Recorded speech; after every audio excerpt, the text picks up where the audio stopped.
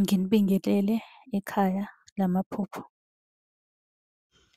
Uma umusha la ekhaya sicela ukuthi ushaye u-subscribe ukuze ngokulandelayo ungaphuthelwa uma sifaka ividiyo.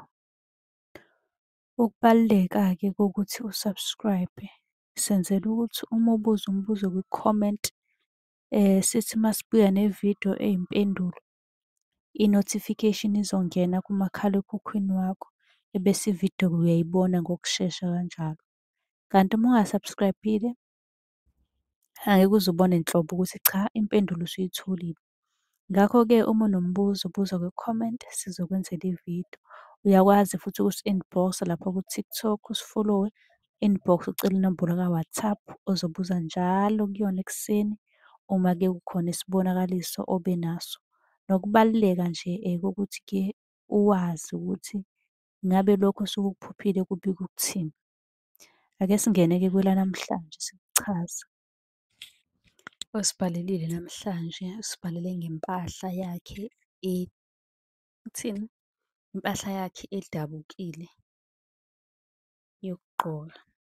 Oh, ngizolihlanganisa naleli elinye, khona obuzile wathi unokuphupha iy'cathulo zakhe zidabukile.